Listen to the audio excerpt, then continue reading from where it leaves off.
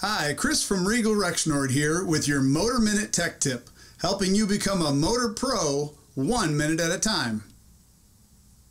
Today's motor topic is dip switches.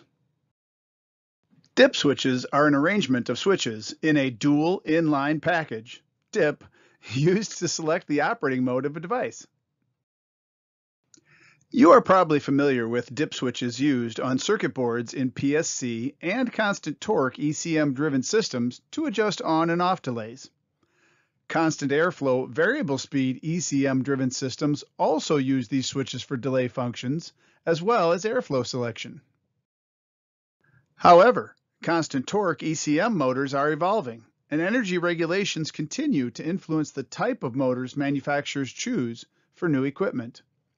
Meaning, since the 2019 FER regulation, there are very few multi-speed PSC motors found in new equipment, and the widely used multi-speed constant torque ECM motor is also being utilized with communication similar to variable speed motors.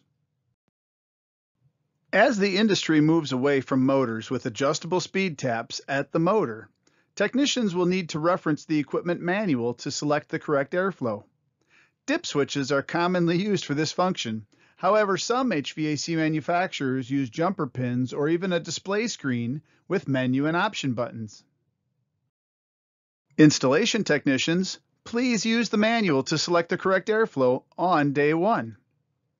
Maintenance and service technicians, please do not assume the airflow selections are correct. Check them on every job. Operational efficiency, consumer comfort, and system reliability may all be influenced by the correct setup of the equipment. RTFM, my friends, read the full manual. And that's a wrap on this segment of Motor Minute. Remember, we provide motor training and product information in multiple formats, including videos, literature, podcasts, articles, of course, Motor Minute technical tips, and classroom education, both online and face to face. All of this industry leading training is available at no charge to HVAC professionals at regalmmu.com.